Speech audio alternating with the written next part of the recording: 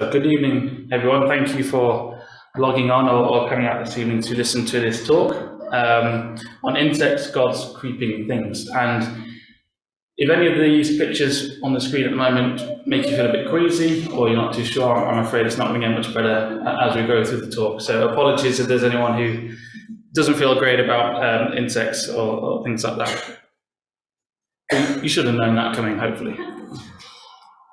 So uh, yeah, I'd just like to start. So we read Genesis 1, didn't we? And that was an account of God creating the world. And as Christadelphians, we believe that God created the world, that there wasn't a, a, a big bang and evolution over millions or billions of years.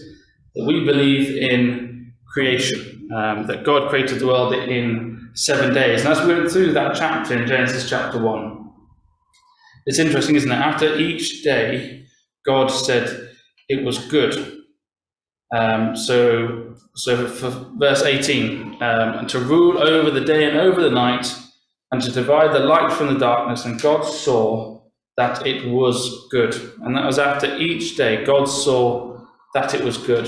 And then we come to verse 31, when God had made everything, um, everything in the earth, he saw, uh, and God saw everything that he had made, and behold, it was very good and the evening and the morning were the sixth day. So God created the earth, He created everything on the earth, and it was very good. It did not need to be evolved over millions of years, as we read, as we know some people believe. Um, and just some statistics in terms of that. So, which of these? Uh, this is a um, this is a, a survey that went out, and the question was, which of these statements come closest to your own point of view regarding the origin and development of human beings on Earth.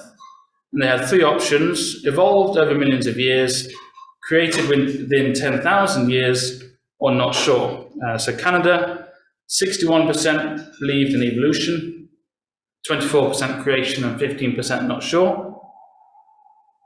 America, almost half uh, believed that it was created within 10,000 years. And then where we are in Great Britain, over two thirds believe that it was evolved over millions of years. And being a teacher previously, um, evolution is taught as fact in schools now, and, and that's what children are taught. And so that's what the population believes in general. As, as people move further away from the Bible and more towards science, that is what seems to be the consensus when it comes to creation and evolution. So I'm hoping in this talk to sort of talk about what the Bible says and think about what we can see in the world around us and how it supports the idea of a creator. And then before we go into it, I just want to talk about evolution and adaptation uh, because they can easily be confused and, and people can um, mix them up. So adaptation is the process of change by which an organism or species become better suited to its environment. Whereas evolution is a change in the characteristics of a species over several generations and relies on the process of natural selection. Because again, as Christadelphians, we believe in creation, but we also see adaptation in animals um, around us and plants around us. But we would argue that we do not see evolution on the grand scale that some scientists believe. Um, and here's an example, I can't remember the moth, uh, the name of it, but it is in my notes. Um, so this is a moth that, depending on what um, is going on around it, depends on which ones are more predominant. Um, and so when there is lots of pollution, the trees where these moths land tend to be darker. And so the darker moths predominate because of that, because the lighter ones are easier for the prey to see them and so they die out quickly, and the darker ones are the ones that are mainly around. Whereas when there's not much pollution and the trees are paler, um, the darker moths are found by the prey, and then so the lighter ones predominate.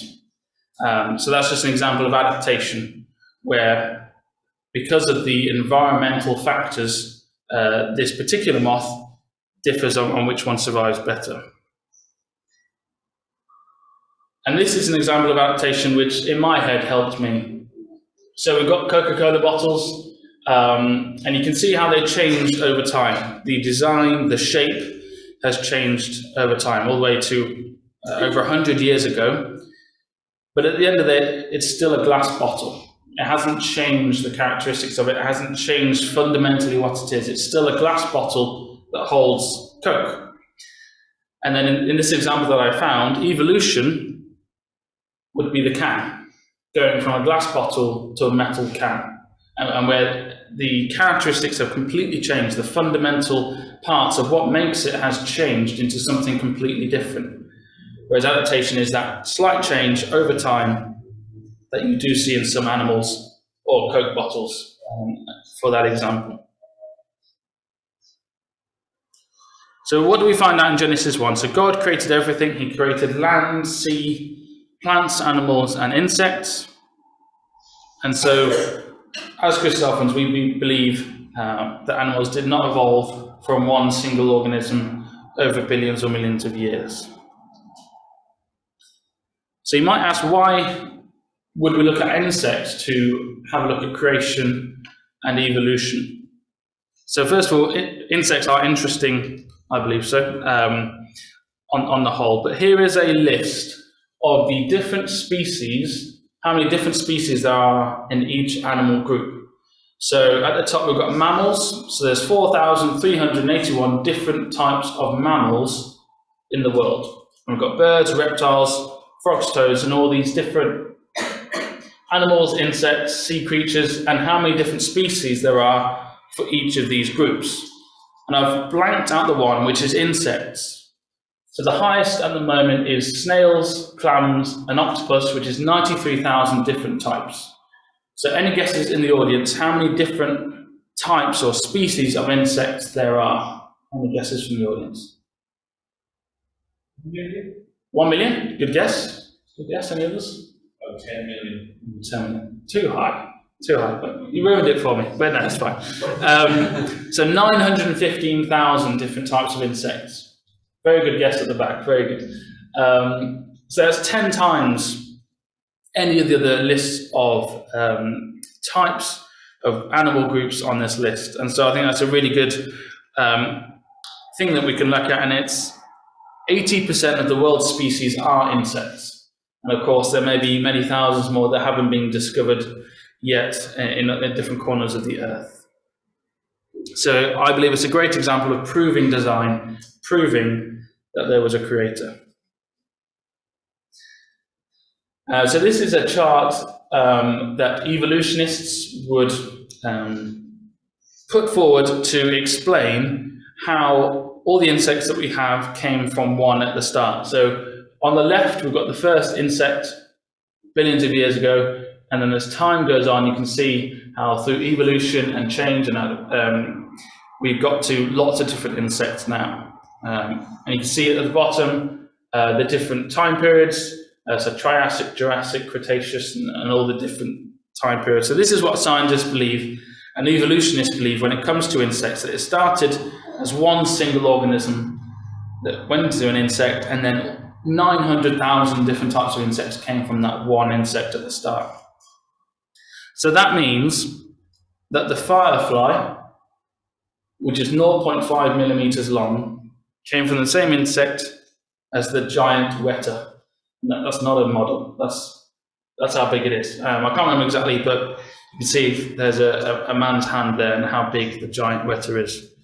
So it means that something as round as the ladybird also came from something came from the same thing as, as something as lanky as a, a stick insect. It means that this um, bombardier beetle that can fire hot acid came from the same insect that was the um, lighting bug. I can't remember exactly what it's called. Um, but that's just to show the different range of insects that are around in the world. And scientists and evolutionists would believe that they all came from one single organism that evolved over millions of years to create these such varied different insects. Um, and we'll look more into it as, as we go through the talk. so this section of the talk is, um, again, we believe there was a creator, and we believe that insects were created to be able to blend in to their surroundings. And so I'm going to put some pictures up of, well, I'm going to put a picture up and I want you to just nod your head or raise your hand or whatever you'd like to do to tell me if you can see the insect within the picture. Um, so I'm going to put the first one up. So we've got some leaves. I don't know, can we have the lights off? Is that okay? I don't know if people be able to see a bit. Behind me? Oh, I see. Got the power, thank you. Um, okay, there you go. So, does anyone think they might be able to see the insect in this picture? Any nods? Yeah, possibly. So what we've got here is a leaf insect. Um, and, and this is the top of the insect, and this is its back, and this is coming down to its head here. Um, that's what it looks like normally when it's not among leaves. Um, it's not a very imaginative name, but it very much describes um, what it is. And of course, if it was sitting on a branch, there would be no predator who would fly past bird um, that would be able to see that and, and think it's food. And when it's on the branch, it even sways around when it's windy to make it look like a leaf. And you can see the brown edging to the insect as well, which makes it look even more realistic as a leaf on a branch. Um, so that's one example. We're going to put another one up. So just a normal picture of a leaf.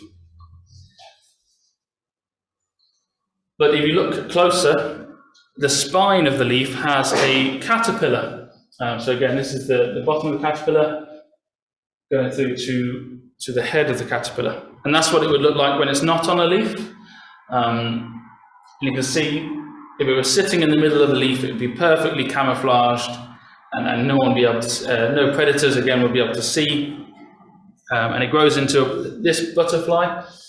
Um, but again, incredible design for it to be able to hide so well in that, in that environment. This one's a bit easier. If you haven't got one yet, this one's for you. Um, so again, this is um, so this is imaginatively named dead leaf butterfly. Um, and you can see it there among dead leaves, but again, if it was on the, the floor of a forest in autumn, you, you can imagine how hard that would be for a predator to be able to, to see that and be able to um, get it if, if it wanted it. And that's what it looks like when it's on, on a green leaf. Not very well camouflaged there, but on the whole, very well designed to be able to camouflage into its surroundings. So some of you might have these flowers in your homes. I know orchids are um, quite nice. Quite, quite a lot of people have them in their homes. But there's not just orchids there. There is a orchid mantis. And of you might have heard of a praying mantis um, as an insect. Um, but you can see it sitting on top of the petals in the top left-hand corner. And, and that's what it looks like. And it's beautiful colours, incredibly created um, but again, made to camouflage once it is amongst orchid flowers. So once again, a predator flying past wouldn't be able to, to see them. Now, this is called a giant swallowtail caterpillar. I'd like you to think in your heads what this might be disguised as. But it does look a lot like bird droppings. And I've not got a picture of bird droppings to put alongside it you can all imagine what that might look like. But again, if, a, if there is a, a bird flying over, I'm thinking, okay, I'm not going to go for that because I don't like the look of that. But again, perfectly created, um, then it might look like bird droppings with the colors and, and, and the way that it looks. So we've got two thorny branches here. Um, but one, in fact, has no thorns on it, and, and one does. So the, the one on the right, the red thorns, that is a a thorny branch, but the one on the left is a, a bare branch with thorn bugs on it. So again, you can see all the different bugs that are on this particular branch. You can see the red top of, of the thorn, and that's it a bit zoomed uh, zoomed in. And again, if a if a bird's coming past and it wants to land on that particular branch, it'll probably think twice about it because of these these bugs with these thorns on their heads, um, again, perfectly created to be able to blend in and, and to put off predators. And I've got one more, um, and this is called an orange tip caterpillar. Um, and it looks pretty normal from, from that point of view. But I've got a video of what happens when it feels threatened. So hopefully this will work.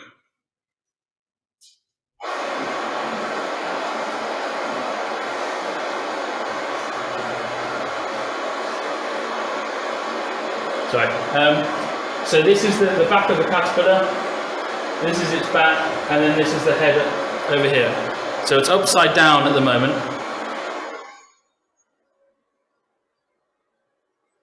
And the cameraman um, gets it to show what it can do when it feels threatened.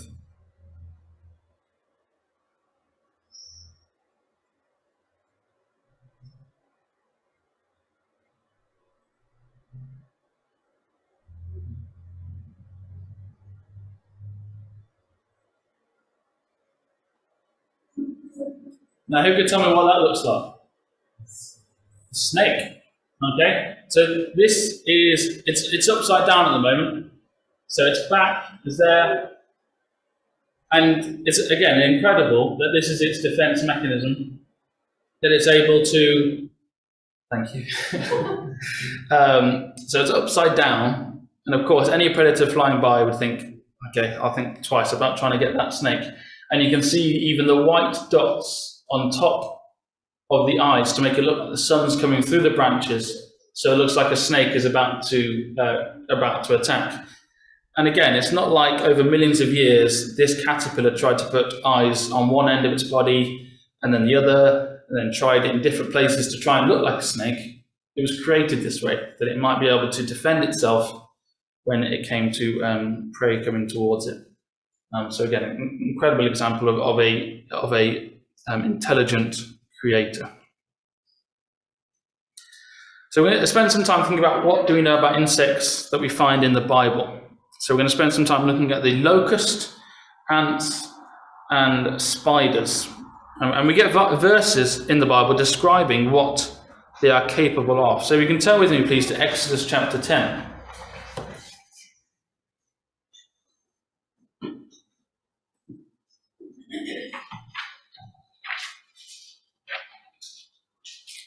So in the book of Exodus, we have locusts appearing, and I'm sure some of the little ones in the room would have learned about this in Sunday school. Some of the older ones would have probably learned about it in Sunday school as well. Um, so Exodus chapter 10, we have Moses and, and Pharaoh. And Moses says to Pharaoh in Exodus chapter 10, verse 4, If thou refuse to let my people go, Behold, tomorrow will I bring the locusts into thy coast, and they shall cover the face of the earth, that one cannot be able to see the earth, and they shall eat the residue of that which is escaped, which remaineth unto you from the hail, and shall eat every tree which groweth for you out of the field. And they shall fill thy houses, and the house of all thy servants, and the houses of all thy Egyptians, which neither thy fathers nor thy fathers' fathers have seen, since the day that they were upon the earth unto this day and he turned himself and went out from Pharaoh. So we, we know that, don't we, from um, the, the, plagues, the ten plagues uh, that happened in Egypt. There's another verse in Proverbs 30 which says, The locusts have no king, yet go they all forth, all of them, by bands. And I'm just going to uh, play another video about locusts and what they're capable of, and it really reinforces what we read in Exodus and what we read in, in Proverbs chapter 30. So hopefully this works.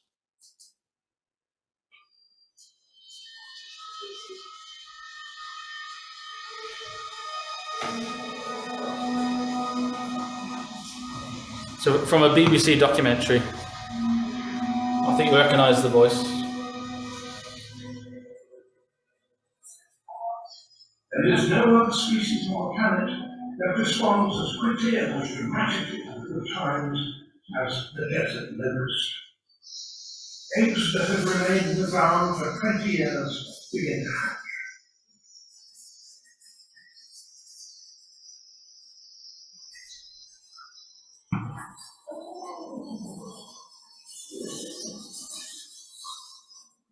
The young locusts are known as hoppers, for at this stage they're flightless. They find new feeding grounds by following the smell of sprouting grass.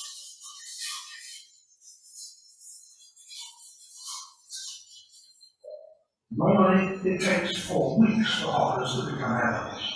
When the conditions are right, as now, their development switches into the fast track.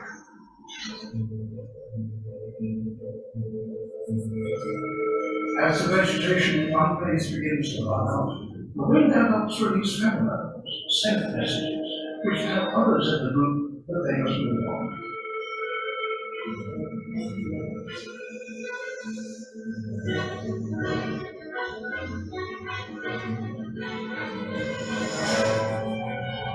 And when groups merge, they form a swarm.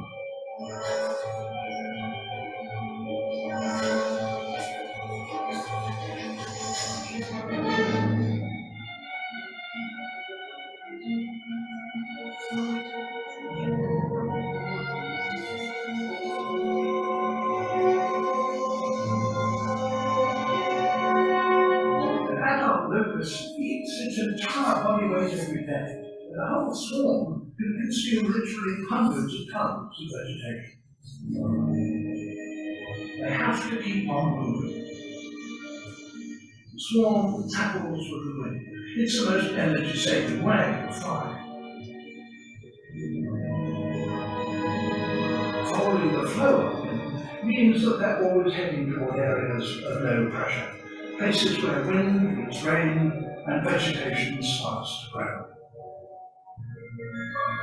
As they fly, swarms join up with other swarms to form gigantic plagues several billion strong and as much as 40 miles. Um, so you can see It will consume every edible thing that lies in their path.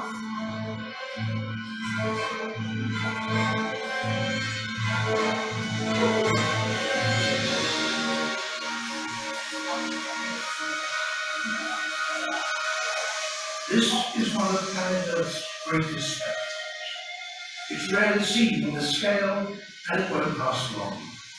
Once the food is gone, the steady roar of a billion beating locust wings will once again be replaced by nothing more than the sound of the desert wind.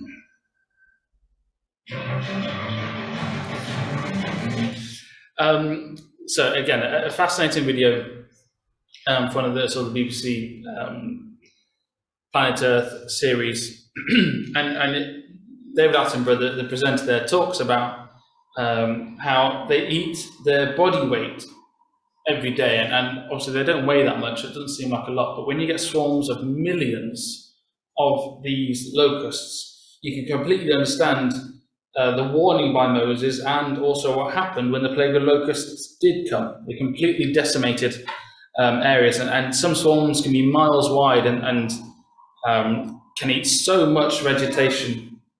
And Proverbs 30, it said that locusts have no king, yet go they forth, all of them, by bands. Um, and again, the presenter there talked about how when there was low pressure, they moved on um, and they released pheromones so that everybody knew, okay, it's time to move on. There's no vegetation here. We're going to go in this direction because there's low pressure over here and there's going to be rain and there's going to be vegetation coming. And so um, the, the writer of the Proverbs uh, couldn't understand it at that point, but scientists can work it out now. This is how they know how to move on. There is no leader, there is no king leading them. They all work together, and, and there's different ways that they do that to be able to go to the next place all together in one swarm. And, and we see that in Exodus and in Proverbs 30 as well. So we'll move on to the ant. Uh, so if you could turn with me, please, to Proverbs chapter 6.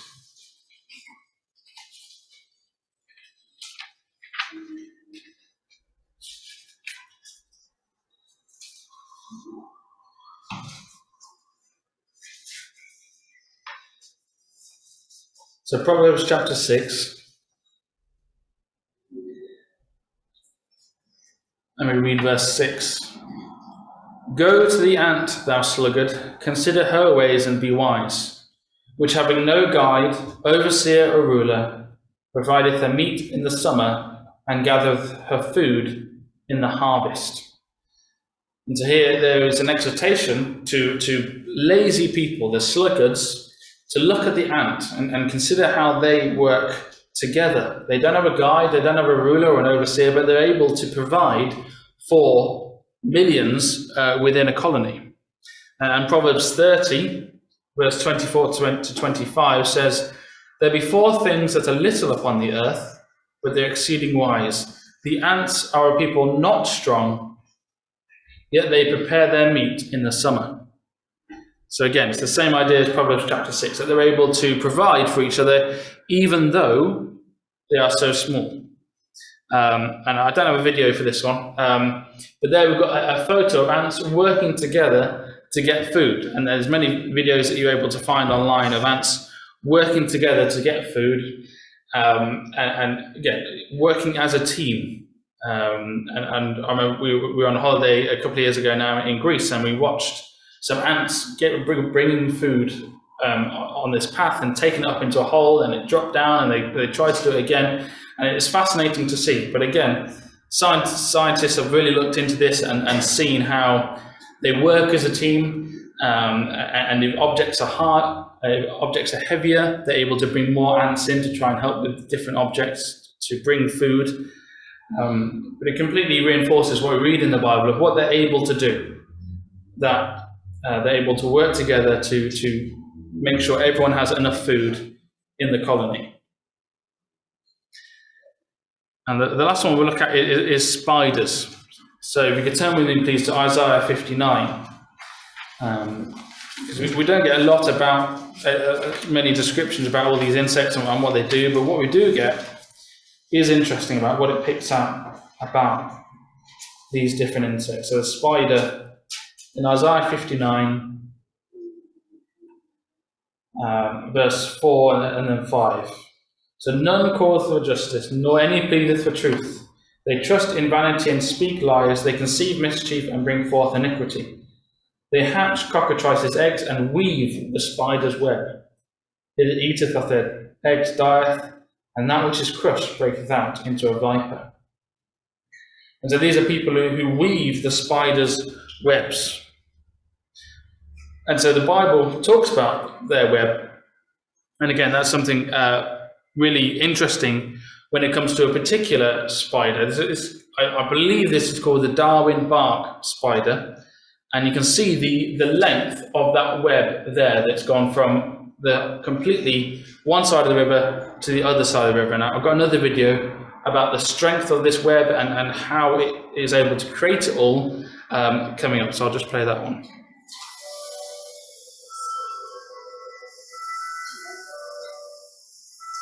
Like a real life spider woman, she sprayed strands of silk in one long continuous flow.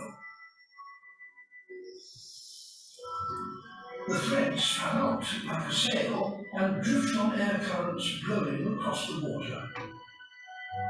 Every few seconds, she crimps the strands together to stop them spreading too widely. The breeze will do the rest blowing the threads into a single line and a 25 meter bridge. Now she must reinforce her bridge because her web will hang from it.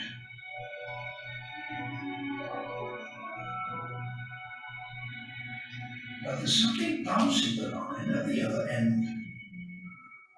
Another Darwin spider is trying to take advantage of her hard work.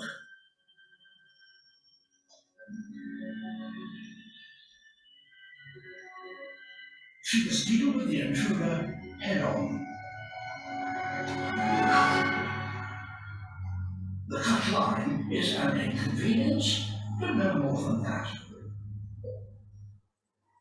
With hooks on the tips of each leg, she gathers in the thread.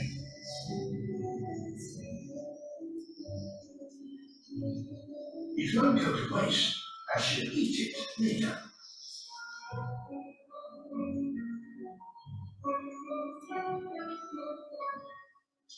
When it's all boiled in, she sprays again.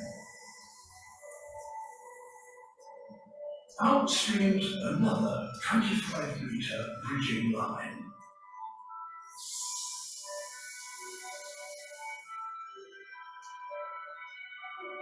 How a spider, no bigger than a thumbnail, can produce so much silk so quickly has baffled scientists. And it's no ordinary silk. It's the toughest natural fibre on the planet, tougher than steel. And it needs to be tough to span the White River. With the bridge taut and the bound anchor in place, it's time to construct her trap.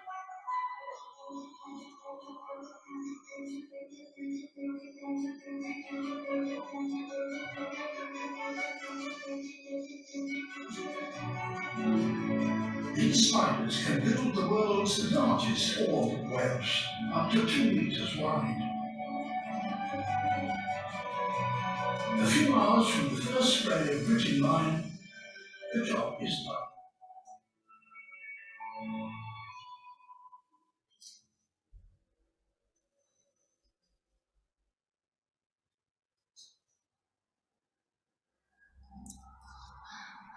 So yeah, another fascinating video there. And again, the presenter talked about how something as small as a thumbnail can produce so much web um, after losing it all and then having to eat it all again baffles scientists. And, and as, as people who believe creation, we love to hear, hear that saying. When it baffles scientists, they just can't understand how anything so small could produce so much.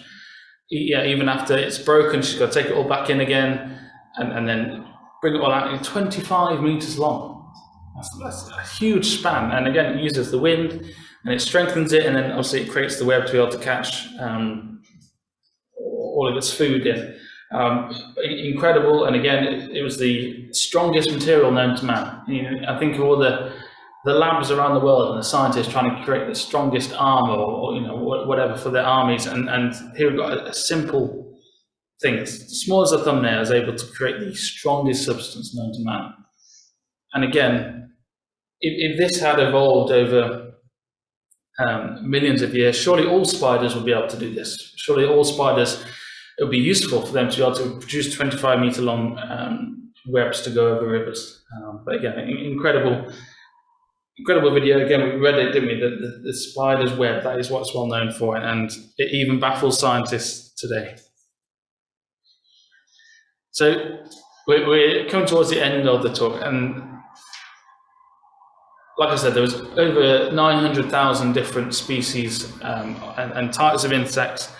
And, and just before we close, I, I, just want to just put some pictures up of some, again, just how different they are, how colourful, how incredible these different insects that have been created um, that can really help us think that there is an incredible designer um, involved in making them. The colours, the shapes, um, and what they're able to do and we, and we think of the of a caterpillar turning into a butterfly and the incredible um, thing that goes into that when in when it's becoming a, a chrysalis and, and his head goes from the top to the bottom and then it becomes a, a, a butterfly.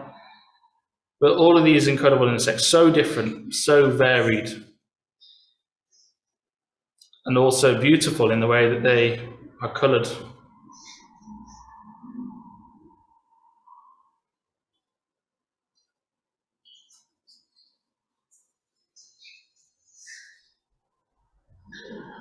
I'll just put this one up because this, this, is a fairly new insect that's been discovered over the last 10 years or so.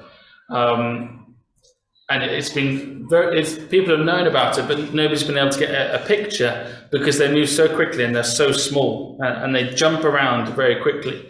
Um, now this, so the back of it has a likening to a 90s toy. Does anyone have an idea what 90s toy that might be? Oh. Trolls.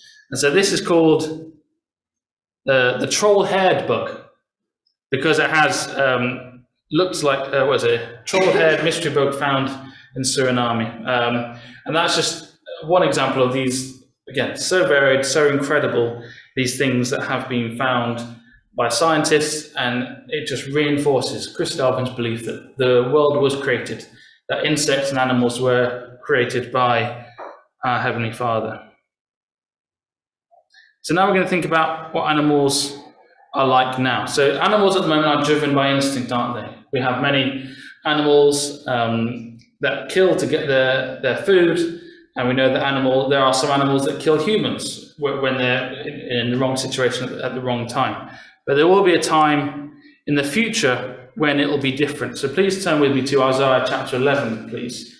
Because we, we had a, a wonderful um, afternoon looking at these incredible things that we read of in the Bible, of these things that have been created and, and what the Lord God of heaven has, has done for us and created.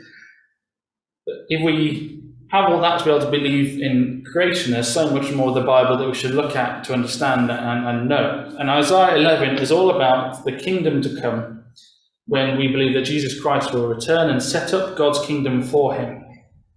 And that is when the instinct of animals will change. So, verse 1 There shall come forth a rod out of the stem of Jesse, and a branch shall grow out of his roots. The Spirit of the Lord shall rest upon him the Spirit of wisdom and understanding, the Spirit of counsel and might, the Spirit of knowledge and of the fear of the Lord. And shall make him of quick understanding in the fear of the Lord, and he shall not judge after the sight of his eyes, neither reprove after the hearing of his ears. But with righteousness shall he judge the poor, and reprove with equity for the meek of the earth. And he shall smite the earth with the rod of his mouth, and with the breath of his lips shall he slay the wicked. And righteousness shall be the girdle of his loins, and faithfulness the girdle of his reins. So that's describing Jesus. Out the uh, stem of Jesse, a branch with wisdom and understanding, and, uh, and all the incredible things he'll be able to do. He'll be able to judge righteously. There'll be no um, whether the, the judge got it right or wrong. He will judge correctly and righteously. And in verse 6, it talks about the animals. The wolf also shall dwell with the lamb, and the leopard shall lie down with the kid, and the calf and the young lion and the fatling together, and little child shall lead them. And the cow and the bear shall feed, their young ones shall lie down together, and the lion shall eat straw like the ox. And the sucking child shall play on the hole of the asp, and the weaned child shall put his hand on the cockatrice's den. They shall not hurt nor destroy in all my holy mountain. The earth shall be full of the knowledge of the Lord as the waters cover the sea. And that's what it was like back in creation. The way that God made animals is that they were vegetarians, that they ate of, of the plants and, and the fruit and the vegetables that were created. They weren't made initially to be meat eaters. Um, but after the, the, sin of Adam and Eve, um, it was changed. And, and we as Christians look forward to a time when it will go back to when you could have something like this a, a, a child leading a lion um, and, and, a cow and, and a wolf all together with no want to destroy. So, verse 9 they shall not hurt nor destroy in all my, all my holy mountain, because the earth shall be full of the knowledge of the Lord as the waters cover the sea. And so, if we believe in creation, there's so much more of the Bible that we should be looking at, and especially this time to come when it shall be back to like it was in creation. So, thank you very much for your concentration this evening.